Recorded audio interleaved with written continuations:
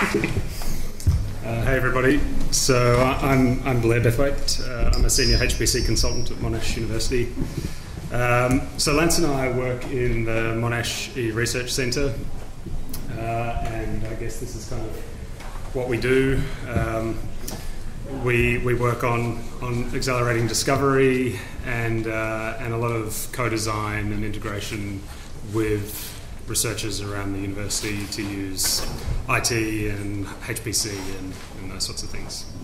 Um, so we're just going to talk a little bit about a project that we've done over the last um, year and a half or so. I'll talk about the OpenStack bits of that quickly, and then Lance will give you a flavour for some of the science that goes on on top of that. Um, so my role in the Research Centre is I, I run the team that, that, runs our node of the Nectar Research Cloud. Um, so the Nectar Research Cloud, for those who don't know, is a community cloud for research in Australia. Uh, so if you have research credentials, you can roll up to Nectar and get an account on that cloud and start launching your own infrastructure on it. Um, that has seven nodes um, around Australia uh, across about 10 data centres, over 40,000 cores. Uh, and the project that we're talking about today, M3, is actually provisioned through that infrastructure as well. So we leverage Nectar very heavily for that, uh, but as a like as a private zone, Nectar. Um, and, and Nectar really established an, an OpenStack, uh, an OpenStack ecosystem in Australia for research computing. That started back in, in 2012, so fairly fairly early days of OpenStack.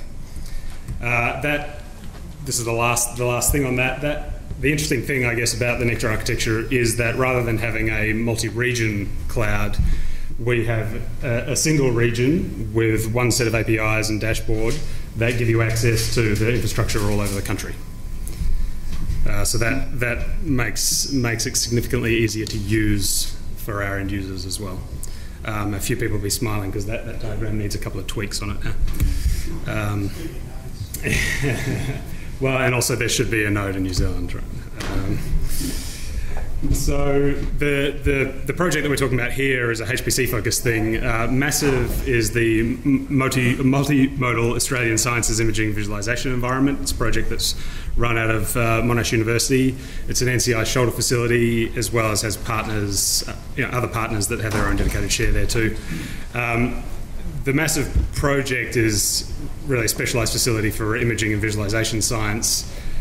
Monash has a very uh, imaging intensive research precinct, a lot of instruments. Uh, you know, you might know that there's a synchrotron across the road. Um, you know that, so there's a few beam lines integrated with Massive there. Uh, and also, you know, we've got a, a number of other interesting, uh, in interesting instruments, one of which uh, Lance will be talking about, cryo-EM. Uh, and there's a lot of new, very high data intensive imaging modalities coming along now that, that I guess the researchers at Monash are quite keen to be uh, adopting and playing with. And you know, those things, they, they don't stand alone. They, they actually need big computing to go along beside them as well to actually make that thing useful. Um, so the other thing about Massive is that it caters to a lot of users that are also quite new to HPC um, because they I mean they're coming there might be really biologists or something like this they're not they're not used to that paradigm. And so the massive project overall has got to focus on making HPC easier to digest for those users. So things like uh, virtual desktops that are well integrated into into the standard HPC cluster service and that sort of thing are quite quite important for that project as well. Um, there's some of the vital statistics there. So recently, it came. We came to uh, building M3, the third third cluster of massive. There's M1 and M2 exist already today, but now getting quite long in the tooth. Um, so that's that's what this thing is. Uh, there's roughly half half CPU GPU based. Uh, when, when it was initially built, uh, there was a rack full of K80 nodes. We now have a rack full of P100 nodes that are, well, they're about to get their P100s put in them. Um, and a few other lower end GPU nodes to support those, some of those uh, low end desktop workloads as well. Uh, a Lustre file system integrated as well. As I mentioned, the um, I mean the, those instrument processing workflows are very data intensive, so being able to get data into and out of the file system quickly is very important. That was one of the key design decisions uh, or areas that needed to be optimized when we built this thing. Um, so the other the other thing I wanted to mention is that as you would have seen earlier when, when Flanders put me on the spot, um, is that I'm co-chair of the scientific working group um, in within the OpenStack user committee. Um, we did a little thing, uh, uh, released about 12, what, six, 12 months ago now, I can't remember. Um, this little booklet, which sort of has a whole bunch of use cases from different areas compiled. Um, oops that so from from other big institutions, I mean, we're, we're featured in there as well as um, people like Pittsburgh Supercomputing Center, NASA, and so on. Look at how they've approached this integration problem with their you know, some of, some of these institutions they have a really big HPC, they do it in a particular way, but they need cloud on the side. Uh, others are actually using OpenStack to completely operate the underlay of the HPC system. Uh, others like PSC do interesting things such as they have their big Slurm cluster, they have an orthogonal OpenStack off to the side of that, and users can actually submit jobs through Slurm, their queuing system, which will end up provisioning a node into a Nova node and giving them a VM on that node integrated into their environment with a guest, which is actually running, you know, sort of their one of their SOEs, if you like, so it's integrated into their identity domain and all that stuff. It's not a typical IaaS. You're not root on that box, for example. Um, so when we came to doing M3, we chose to do it with OpenStack through Nectar. Um, that there's a number of reasons for that. Um, one of which was this this space um, has a lot of different heterogeneous user requirements. So this was never just about building a new cluster. Um, that was going to be one of the services that would be, you know, I guess the maybe the anchor tenant for this new new zone that we were building of our of our cloud infrastructure. Um, clusters need provisioning systems anyway, and Nova happens to be quite good at that. Um, and also, of course, I mean, OpenStack's a big focus for innovation um, and a good good bandwagon to be on in that regard. You know, for example, the I guess the next step for us there will be to deploy Ironic into that environment as well, so that because we have mixed bare metal in there too, so we want to be able to manage that in the same way. Um, yeah, a few other reasons there.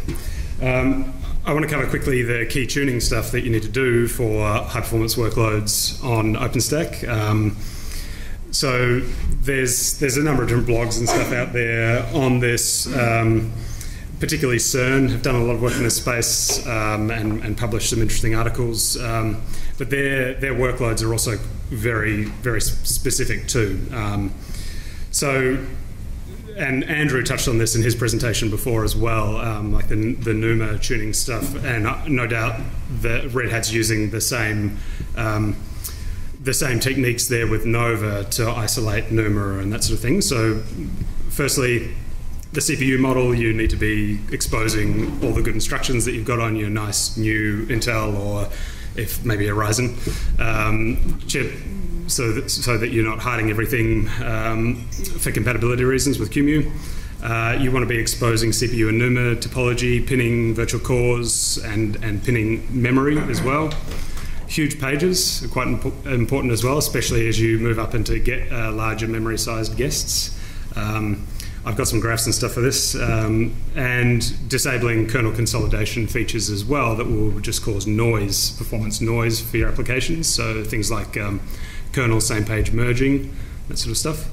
Uh, and also, you want to remove host networking overheads where you can, particularly, I mean, if you're using something like uh, bridge networking through Linux Bridge or um, well, any, any, of those other techniques which really you're proxying data through the host OS then you're paying a la- both a latency penalty there, which may be important. It sort of depends for HPC workloads.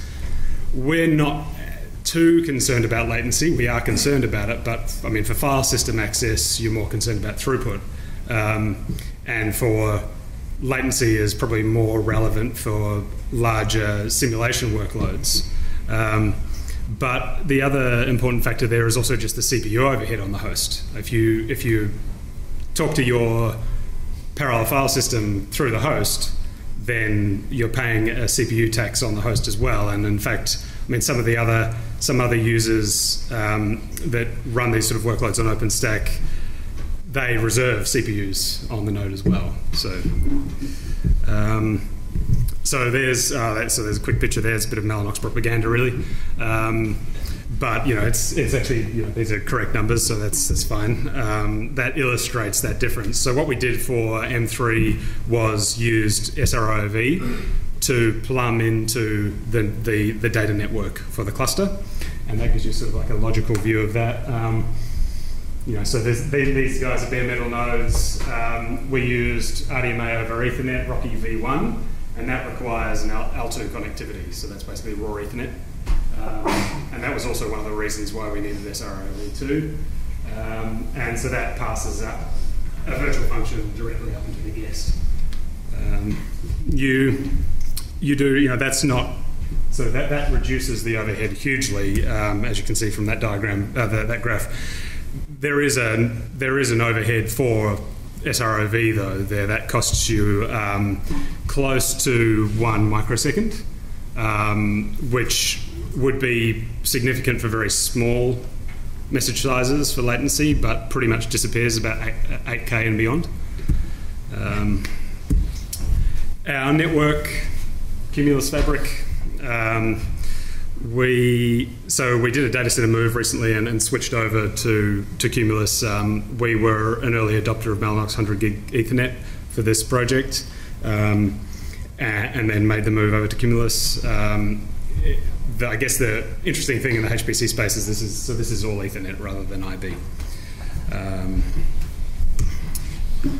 so when we stood this thing up, we did the benchmarks and so on. Um, it's important to point out too that this was, I mean, we're looking at a, a, KVM environment here too, which is kind of a, I guess, a typical Nova install. Um, today, if we were doing this, we would probably start with Ironic, but when we built it, Ironic actually didn't have support at that point for multi-tenant networking. Um, it does today, so that's that's fine, and that's why we'll be looking at it again later this year. Um, so we've got I've got some benchmark numbers here. We did some Linpack performance snapshots. So these these boxes are Dell R730s, uh, Haswell. Um, we run. Uh, well, we're about to upgrade to to Xenial, but it's a trusty host using Xenial kernel and Mitaka Cloud Archive packages. So that's got QEMU 2.5 and so on. Um, and some of those those kernel features disabled, like I mentioned before. And on top of that, this is just a one big guest basically eating up all that system. Um, and that guest is running CentOS, which is kind of also typical uh, for the HPC environment. Um, so this is running high performance Linpack. Um, you can see here the green line is basically, uh, sorry, the, the orange line is what you would get if you didn't do any tuning work. Um, and you've got relative to one, so one is one is the bare metal performance. Um, so you know, that's once you actually get up into large problem sizes, you're actually doing pretty well. Like we're already at 94% without doing any tuning. Um, this whoops here is what happens if you tune things wrong and actually pin your NUMA sockets to the opposite cores. Right? So don't, don't do that. Um, we, we also found some, some interesting problems with the, uh, the hardware locality library that's in OpenMPI, which when we initially did the tuning didn't for some reason still haven't figured this out, didn't understand the virtual topology, or the topology it was seeing inside QEMU, um, and so wasn't pinning properly when, when we were running HPL. Uh, and then, the, so then we worked around that, and that, the blue line is what you get for the optimized. Uh, we also did the same thing using Intel MK, uh, MKL Linpack, which is rather than an open MPI implementation, that's just a threaded version. Um, again, similar story. So, all good, right? Well, no. Um, so Linpack is really a micro benchmark. Um, you know, it gets gets a lot of press, uh, but it doesn't really tell you what a user workload is going to be like. And so when we started onboarding user codes, we found some codes that were getting from you know in, inconsistent performance across different nodes, and we couldn't tell why. what we suspected pretty much straight away was that we hadn't uh, included using huge pages in the in the early tuning because we couldn't actually use huge pages with guests of like 240 gig of RAM. Um, turns out that there's a little problem there with when when the memory for the guest is allocated, that takes longer than 30 seconds here, and so QEMU is still chugging away, single threaded, allocating that memory, and libvirt says, "Oh well, 30 seconds, guest doesn't come back to me, kill it." Um, so we went back to that problem and so that we could do some more testing here. And so then we enabled, so for our smaller nodes, we enabled static huge pages, one gig static huge pages. Uh, and then we used transparent huge pages for the bigger bigger guys and redid some testing on those on the M3A nodes, and the, those are the specs there. So these are Dell 6320s. Um, and so this is the once we ran those without the without the huge pages, you see the yellow dots. And once you get up into the big problem sizes, then we started seeing some weird inconsistencies across the full suite of nodes. Um, and if you zoom in on that, that's what you see that like that middle line there. From you know a bunch of different samples, they drop off hugely for some reason, um, which seems to be related to once you get up to large memory pressure and uh, page table sizes. But once you back with huge pages, we're all good again. Um, so the other thing we do on M3 is GPU instances. I'm not going to go into much detail here. I do have actually specific like step-by-step instructions in these slides just because I thought I'd leave them there in case we can publish them later and people are interested. Um, these are all the things you need to do to, to do GPU instances with OpenStack today. Um, there's part of one of the things I'm doing in the scientific working group at the moment is trying to make that kind of, I guess, spread that knowledge, and that's why I'm here today, for one thing. Um, but also gather information about what, what, people have actually had success or failure with um, today as well. So that's kind of an active area of work at the moment. Um, these are the instructions. Um, I just wanted to mention the rough edges. So if you do GPU pass through stuff with OpenStack, then that means that your GPUs are passed through to the guest and the host can no longer see them. So you can't monitor them from the host. Um, so that's you know that, that that's potentially potentially an issue. Um, peer-to-peer GPU workloads like CUDA peer-to-peer um, that that won't work on most hosts just out of the box. Um, interestingly, Mike from NVIDIA's here, um, and we've got a we've got a partnership with with those guys, um, and he ran up DevStack on a uh, what was it? Some super micro server that's got NVLink topology in it, and that all works nicely because the NVLink um, takes precedence over PCI in the guest, and so away you go.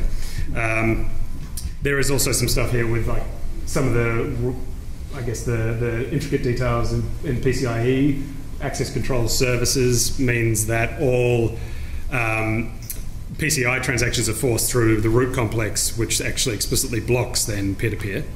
Um, so you can disable that. Uh, and there's also a bit of interesting stuff around another PCIe thing, which is address translation services, which is like an agent on the device which will cache virtual memory mappings from the host and allow the device not to have to go back to the root complex or the, M, the IOMMU to say where am I DMAing to, and so it just does that. But if you think about it, that is potentially a security hole. Um, and there's also a few other special registers and stuff that, which you know, the, the, the card is presumed to be um, a part of the overall node, and yet you're trying. You, if you're doing a multi-tenant environment, then you're trying to actually segment that thing up um, so there's some interesting interesting stuff there. Of course, if you're running a cluster, that's going to fine because you have one tenant anyway. Um, uh, I mean, the yeah, driver support stuff is not very interesting. Uh, other interesting thing here is that OpenStack Cyborg uh, project is a, is a new thing that's been um, suggested at the moment in the community, which is an accelerated management framework um, which will make some of this uh, much more flexible and easier to implement as well. And now I'm going to hand over to Lance so he can quickly tell you some of the interesting science stuff that we do on this platform. Um, how do I exit? No. Uh, where's the play button? Oh, you know how to drive that, presumably. Yep. Fix it. This is good. Yeah, hot corners. Love it when a HPC person uses the computer and they That's fine, I can't see it. Let's hold that. We'll come back in a second. Okay, there we go. There we go. Oh, yeah, right. hey. Hey. All right. Let's get rid of that. So I'm going to talk a little bit about some of the science we do on our, uh, on our system. Um, uh, one of the things that we look at is angstrom scale microscopy. So the technique that they use that is cryo-EM. Um, this picture here is a creepy little tick. How many people have had a tick? Pretty much if you live in Australia, you probably had a tick. Uh, yeah, Queensland, sorry. I forget, down in Victoria it's all safe down here. Um, nothing kills you. Um, these little ticks here have a, have a protein inside them that has almost the same chemical profile as a drug that they sell for $500,000 a dose. So this particular drug is used for um, stopping your immune system from attacking your blood cells. So one of the one of the groups that we work with, uh, Hans Elmlund's team, they they're looking at imaging this particular protein and trying to make a version that doesn't cost five hundred thousand dollars, so people who actually need it can get treated. Um, one of the other things that they've done with this particular technique is take an image of Ebola. Everybody know what Ebola is? Uh, it kills you very quickly. And this is how it does it. So the brown bit here is what your cells look like, and the gold bit on the top there is what Ebola looks like when it's punching a hole through your cells. So this particular imaging technique was one of the first times that I actually could see how Ebola kills you. I love this thing. Can't you see it? yeah, yeah, right. Okay, we're gonna we're gonna go with th- th- this one's a little simpler. So this is what gets collected out of the cryo EM machine here. Can anybody see anything? Yep, it looks like. So each one of those images is a movie that they collect out of this particular detector, and somehow you're supposed to figure out that there's a molecule in there. So this is just one of those images. Now, can anybody see any molecules inside there? Just to help, I'll point at one. Uh, see. Right there. Okay. So this is where the data comes out of this thing. It's really difficult for them to figure out what they're actually looking at. So eventually they do a truckload of processing and I, they chew up every resource they have available.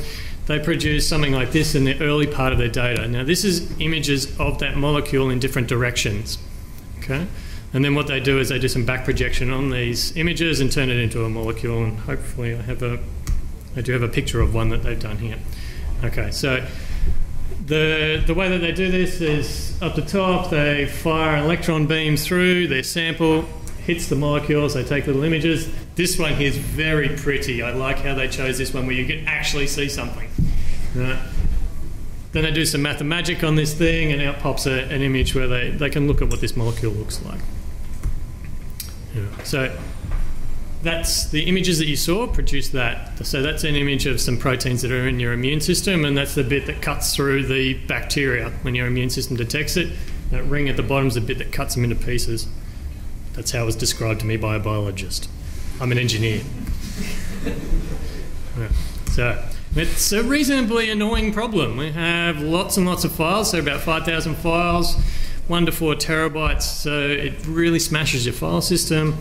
Um, it is a pipeline analysis, meaning that you have to do lots and lots of steps. They go back and forth and around and around, and they have different compute requirements for every step of this process, which is fantastic.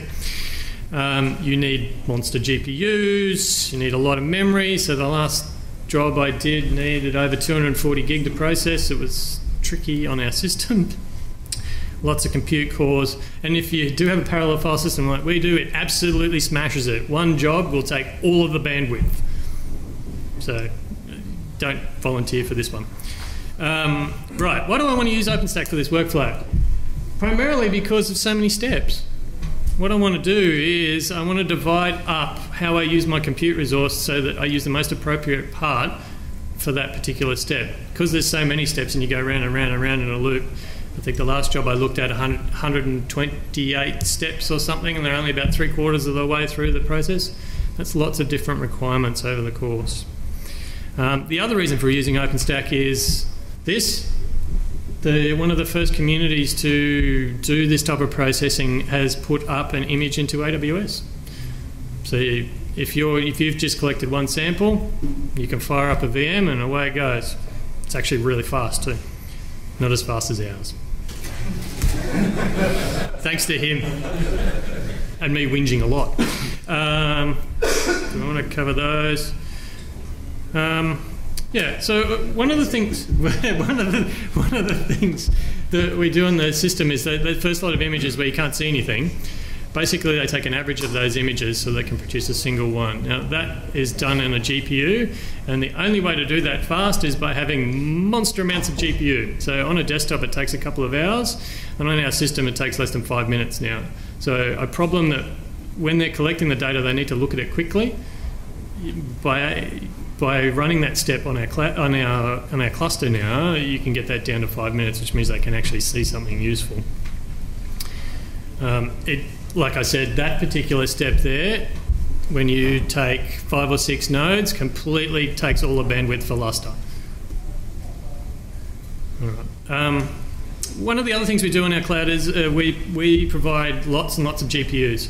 Um, so one of the steps that they run on this particular analysis can benefit from multi-node. Um, so for us now, we typically suggest people run 16 GPUs, which you can't do in a single box. Um, I say that without special purpose hardware. Um, so what we're now down to now is we're, we're dramatically reducing people's time from when they collect the data to them having a result where they could see if you had the next thing, that next level 4 pathogen that's not Ebola, you could actually scan it and see what it is almost in real time. Um, and I'm going to kill myself in just a second. Uh, so just to show off a little bit, um, this is some data that the developers provide for this particular piece of software. Um, and now I'm even faster than this because I haven't updated the slide. Um, but you can see the two little white boxes down there. That's how fast that you can do this particular job in the cloud if you want to. Uh, look, that's the guy who develops the software. He was really excited that we'd done something actually useful. Weird. Weird. No, won't talk about that. All right. Uh, I do want to thank everybody who's helped me collect the results on this. It wasn't done by myself only. Um, they were very, very helpful. Actually, Jafar, is he here? Hooray! He's been very helpful. All right. Um, now, I'm happy to answer any questions on the stuff that we've done. Technical, I mean, if you, if you want to know about how we configured our cluster and how that relates to the cloud, or if you want to know about creepy science stuff, I can talk a little bit about that. Um, Should mention if you're interested in HPC on OpenStack stuff as well, um, Lev from Uni Melbourne is giving another talk, I think at 12.30. 12.30 a.m. I think it says actually. yeah. yeah. it's going to be a very long talk. Um, but go and see that too. Yeah. Questions? Sure. What's the learning curve like for this kind of stuff? the question is, what's the learning curve for this type of stuff? What, prior Supporting uh, supporting it. Um, uh, I'm a uh, mechanical engineer by training, so I, have been doing lots of simulation stuff over the years. Um, the learning curve to, for this has probably taken about six months. Um, every time you think you've solved a problem, someone else comes along and they go, "This doesn't work," and you, you go back and you go, "Oh, why is that not working? Uh, it's been tricky." Don't volunteer for it. I think I was the slowest moving target. I agree. Uh, the require image, does it have uh, local processing before it actually goes into the cloud? Uh, the question is, do do we ha- do they have local processing in the cryo-EM? Just advanced storage or, you know, uh, Uh, ours doesn't. Uh, it doesn't mean that others around the world don't. Um, we have very tightly integrated that into our system. So basically, it's directly attached to our storage, and they have um, nodes that they can see. They can bring up a desktop and start processing their data immediately. Um, we've gone to a lot of effort to make sure that their, their data hits our system as soon as possible and they only process on us.